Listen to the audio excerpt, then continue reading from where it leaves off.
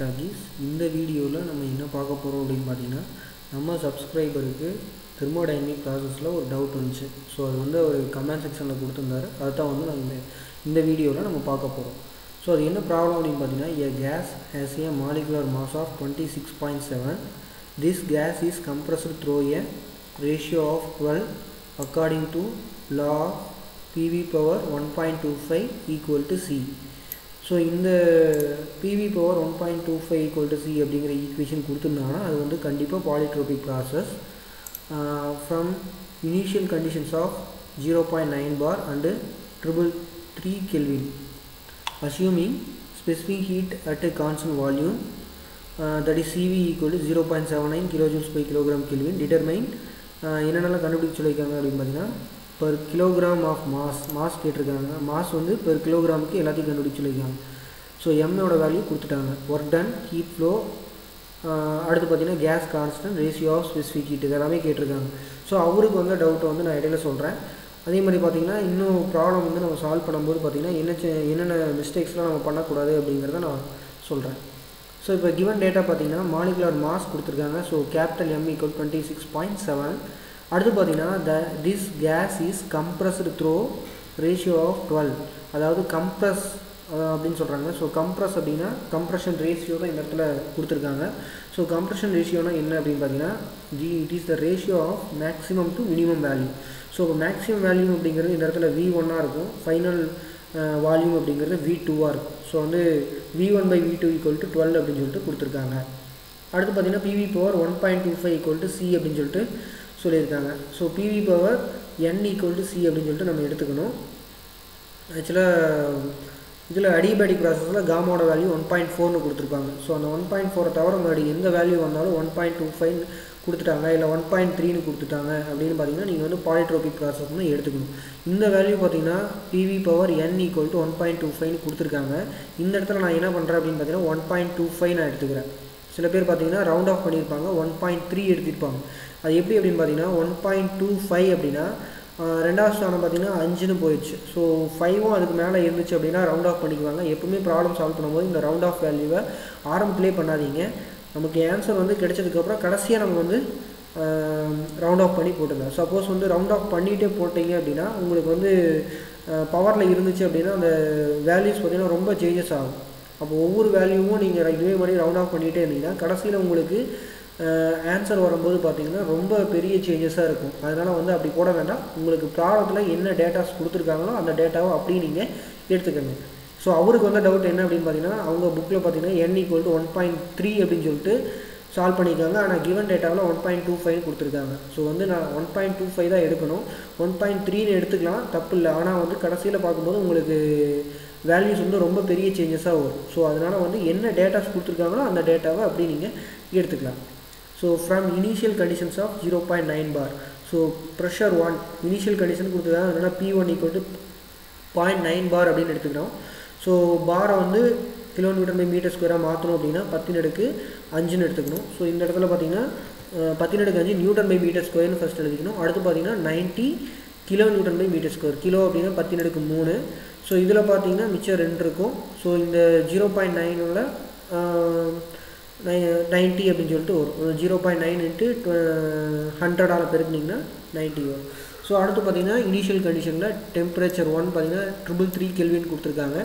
So அடுத்து பார்த்தீங்கன்னா இன்னொரு data assuming specific heat at constant volume அப்படின்னு கொடுத்துருக்காங்க. கான்ஸ்டன்ட் வால்யூம்னா ஸ்பெசிஃபிக் ஹீட்னா C at constant வால்யூம்னா CV equal zero point seven nine kilo juice by kilogram kelvin determine per kilogram of mass அதாவது நம்ம கண்டுபிடிக்கக்கூடிய எல்லா வேல்யூஸையும் பெர் கிலோகிராமுக்கு கண்டுபிடிங்க. அதாவது மாஸோட வேல்யூ ஒன் அப்படின்னு சொல்லிட்டு நம்ம எடுத்துக்கிறோம். ஸோ வந்து அசம்ஷனாக அவங்களே சொல்லிட்டாங்க. ஸோ என்ன கண்டுபிடிக்க சொல்லியிருக்காங்க? ஒர்க் டன் ஹீட் ஃப்ளோ அதாவது ஹீட் ட்ரான்ஸ்ஃபர் அடுத்து பார்த்தீங்கன்னா gas constant R specific heat capacity sorry ratio of specific heat கேட்டிருக்காங்க. அதாவது காமாவோட வேல்யூ சிபி பை சிவி கேட்டிருக்காங்க. ஸோ இப்போ நம்ம ஃபஸ்ட்டு பார்த்தீங்கன்னா கேஸ் கான்ஸ்டன்ட் எடுத்துக்கிறோம். R equal to R U by எம்ங்கிற formula so இந்த ஆர்யூவில் பார்த்தீங்கன்னா eight point three one four நீங்கள் கண்டுபிடிக்கும் போது எல்லாமே பார்த்தீங்கன்னா கிலோ ஜூல்ஸில் வச்சுக்கோங்க. ஸோ தெர்மோடைனமிக் ப்ராசஸில் நீங்கள் என்ன ப்ராப்ளம் சால்வ் பண்ணாலும் சரி நீங்கள் ஃபஸ்ட்டு வந்து கிலோ ஜூல்ஸில் நீங்கள் வச்சுக்கிட்டு சால்வ் பண்ணுங்கள் ஸோ அப்போ தான் வந்து உங்களுக்கு கடைசியாக வர்ற ஆன்சர் வந்து கிலோ ஜூல்ஸில் கிடைக்கும். ஸோ இப்போ வந்து ஆர்யூவோட value eight point three one four so இதில் பார்த்தீங்கன்னா ஆர்யூங்கிறது யூனிவர்சல் கேஸ் கான்ஸ்டன்ட் ஸோ சில பேர் வந்து இந்த வேல்யூ எப்படி வந்துச்சு அப்படின்னு சொல்லிட்டு கேட்டிருந்தீங்க. So eight point three one four அப்படிங்கிறது கான்ஸ்டண்ட்டான ஒரு வேல்யூ எல்லா கேஸுக்குமே வந்து பொதுவான ஒரு வேல்யூ ஸோ இதில் eight point three one four kilo joules by kilogram mole kelvin so அடுத்து பார்த்தீங்கன்னா மாலிகுலர் மாஸ் வந்து டுவெண்ட்டி சிக்ஸ் பாயிண்ட் செவன் கொடுத்துருக்காங்க. ஸோ ரேஷியோ பண்ணிங்கன்னா zero point three double one so இந்த இடத்துல நான் ஒன்று சொல்கிறேன் என்ன அப்படின்னு பார்த்தீங்கன்னா இந்த வேல்யூவில் zero point three double one five six அப்படிங்கிறது என்னோட ஒரிஜினல் வேல்யூ ஆனால் நான் இந்த இந்த இடத்துல பார்த்தீங்கன்னா ஜீரோக்கு இந்த பாயிண்ட் இருக்கு இல்லையா அந்த புள்ளி அந்த புள்ளிக்கு அடுத்து பார்த்தீங்கன்னா மூணு ஸ்தானம் எடுத்துக்கிறேன். சப்போஸ் வந்து நீங்கள் ரெண்டு ஸ்தானம் எடுத்துக்கலாம் நாலு ஸ்தானம் எடுத்துக்கலாம் அஞ்சு ஸ்தானம் எடுத்துக்கலாம். எல்லாமே பார்த்தீங்கன்னா ஒரே இதில் எடுத்துக்க ஒரே ஃபார்மேட்டில் எடுத்துக்கோங்க ஸோ இப்போ வந்து நான் மூணு டேர்ம்ஸ் எடுத்துக்கிறேன். ஜீரோ இந்த புள்ளி தள்ளி ஜீரோ இந்த மூணு ஸ்தானம் எடுத்துக்கிறேன். அதே மாதிரி பார்த்தீங்கன்னா மூணு டேர்ம்லேயே நான் எல்லாத்தையும் எடுத்துக்கிறேன். சரிங்களா? ஸோ நீங்கள் வந்து ரெண்டு டேர்ம் கூட எடுத்துக்கலாம். ஸோ இந்த இடத்துல நீங்கள் ரெண்டு டேர்ம் எடுத்தீங்க அப்படின்னா சப்போஸ் வந்து zero point three one five அப்படின்னு இருந்துச்சுன்னா நீங்கள் என்ன பண்ணலாம்? ஜீரோ பாயிண்ட் த்ரீ டூ அப்படின்னு சொல்லிட்டு நீங்கள் எடுத்துக்கலாம். ஸோ இந்த மாதிரி நீங்கள் ரவுண்ட் ஆஃப் பண்ணீங்க அப்படின்னா ஃபைனலாக பார்க்கும்போது உங்களுக்கு என்ன ஆகும் அப்படின்னா ஒரு சேஞ்சஸ் கிடைக்கும். ரொம்ப பெரிய சேஞ்சஸாக வந்துடும் ஒவ்வொரு இதுலேயும் வந்து நீங்கள் மாற்றிக்கிட்டே இருந்தீங்கன்னா பெரிய சேஞ்சஸ் ஆகும் ஸோ அதனால் என்ன பண்ணுங்க அப்படின்னா எப்போவுமே த்ரீ டிஜிட்ஸை நீங்கள் இந்த புள்ளிக்கு அடுத்து தசம புள்ளிக்கு அடுத்து வந்து நீங்கள் எப்போவுமே த்ரீ டிஜிட்ஸ் எடுத்துக்கிட்டீங்க அப்படின்னா உங்களுக்கு வர்ற ஆன்சர் ரொம்ப சேஞ்சஸ் கிடைக்காது. ஸோ எப்பவுமே வந்து ப்ராப்ளமேட்டிக் நீங்கள் நம்ம சால்வ் பண்ணும்போது பார்த்தீங்கன்னா ஒவ்வொருத்தருக்கும் ஒவ்வொரு ஆன்சர் வரும். ஸோ நீங்கள் இதில் வேல்யூ பண்ணுறாங்க உங்கள் பேப்பரை வந்து வேல்யூ பண்ணுறாங்க அப்படிங்கும்போது உங்களுக்கு ரொம்ப டீவியேஷன் வந்து அதிகமாக இருக்கக்கூடாது. ஸோ வந்து இப்போ third three five six point seven five அப்படின்னு சொல்லிட்டு எனக்கு வருது சில பேர் பார்த்தீங்கன்னா செவன் செவன் வந்து போட்டிருப்பாங்க. சில பேர் த்ரீ ஃபைவ் செவன்னே போட்டிருப்பாங்க. ஸோ இந்த மாதிரி வந்து நீங்கள் ரவுண்ட் ஆஃப் பண்ணி எழுதும்போது ஸ்லைட்லி சேஞ்சஸ் வந்து அவங்க பார்க்க மாட்டாங்க. ரொம்ப சேஞ்சஸ் இருந்துச்சு அப்படின்னா உங்களுக்கு வந்து மார்க் ரெடியூஸ் ஆக வாய்ப்பு இருக்குது ஸோ அடுத்து பார்த்தீங்கன்னா சேஞ்ச் இன் இன்டர்னலஜி கண்டு கண்டுபிடிக்கணும். So delta U equal to m CV T two minus T one so இந்த மூணு ஈக்குவேஷன்ஸை நம்ம எடுத்துக்கிறோம்.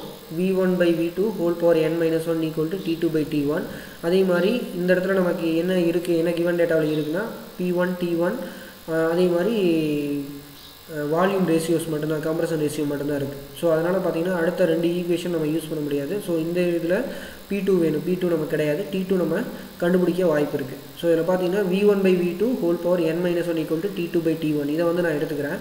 ஸோ இதில் வி ஒன் பை வி டூக்கு பதிலாக நான் டுவெல் சப்ஸ்டிட் பண்ணுறேன் இது எப்படி வந்துச்சு அப்படின்னா கம்ப்ரஷன் ரேஷியோ கொடுத்துருக்காங்க. So V one by V two equal to twelve so compressed through a ratio of அப்படின்னு கொடுத்துருந்தனால கம்ப்ரஷன் ரேஷியோ டுவெல் ஸோ அந்த டுவெல்லோட வேல்யூவை நான் அப்படி இங்கே சப்ஸ்டிட் பண்ணிக்கிறேன். So one point two five தான் நான் சப்ஸ்டிட் பண்ணிக்கிறேன்.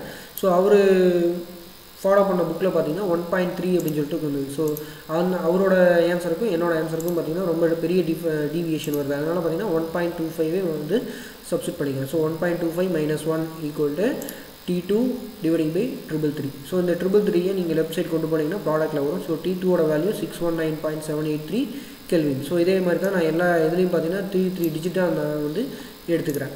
ஸோ இப்போ டெல்டா யூ வந்து நம்மளால் கண்டுபிடிக்க முடியும். M CV T two minus T one so எம்மோட value ஒன்றுன்னு எடுத்துக்க சொல்லிட்டாங்க. சிவியோட value zero point seven nine T டூவோட கண்டுபிடிச்சிக்கிறோம். டி ஒன்னோட வேல்யூ கொடுத்துருக்காங்க. ஸோ டெல்டா யூவை நம்ம கால்குலேட் பண்ணி எழுதிக்கலாம்.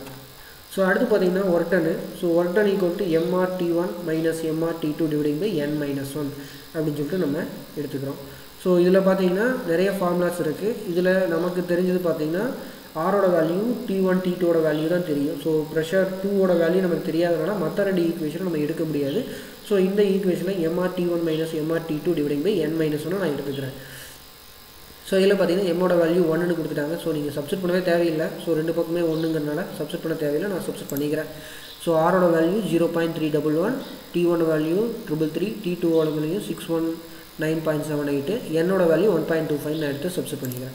ஸோ இப்போ டபுள்யூட வேல்யூ பார்த்தீங்கன்னா minus three five six point seven five six kilo joules so இந்த இடத்துல மைனஸ் ஏன் வருது அப்படின்னு பார்த்தீங்கன்னா நம்ம அந்த ஹீட் என்ஜினுக்கு நம்ம வந்து வேலை செய்கிறோம் அப்படிங்கிறது அர்த்தம்.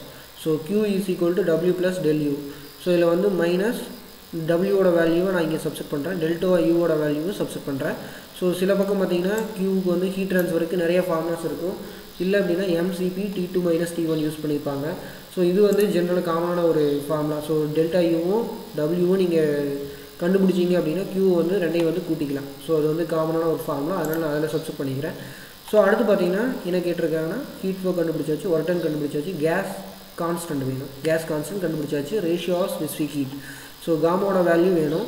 ஸோ காமாவோட வேல்யூ என்ன அப்படின்னு பார்த்தீங்கன்னா சிபி பை சிவி ஸோ இந்த இடத்துல சிபியோட வேல்யூ நமக்கு வேணும் கிடையாது.